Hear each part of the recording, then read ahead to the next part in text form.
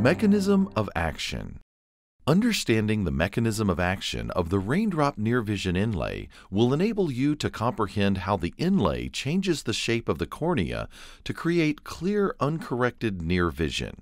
Unlike monovision LASIK, the monocular uncorrected distance visual acuity is minimally affected, while binocularly the distance visual acuity is essentially unchanged. The raindrop near vision inlay is composed of a physiologically transparent hydrogel material which is similar in water content and refractive index as the cornea.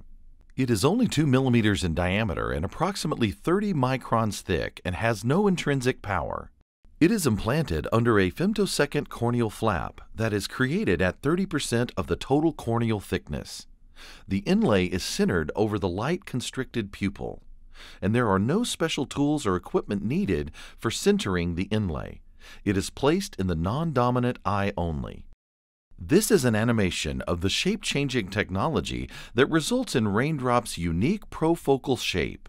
The inlay is implanted on the stromal bed under a femtosecond laser flap which is created at about 30% of the central corneal thickness. The resulting elevation from the thickness of the inlay and the epithelial remodeling of the cornea create the progressive prolate shape. One of the most valuable features of the raindrop near vision inlay is that it is removable with expected post-explant refractive and topographical results returning to baseline. These example refractive maps demonstrate the increase in power due to the central corneal steepening created by the raindrop inlay.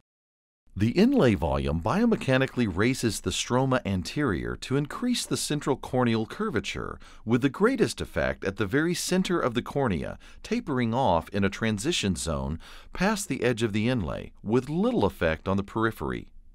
This slight curvature change increases the central power by a few diopters, providing a central zone to enhance near vision.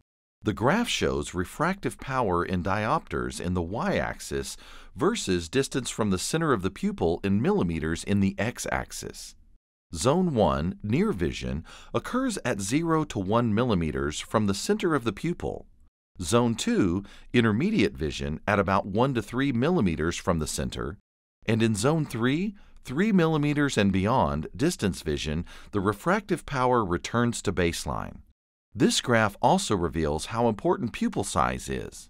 It is recommended that the photopic pupil size be greater than 3 millimeters in diameter in order to provide the optimal uncorrected distance vision. By understanding the mechanism of action, one will have insight into how the cornea is changed and how near vision is achieved. This revolutionary shape-changing technology offers a life-changing vision solution to presbyopic patients.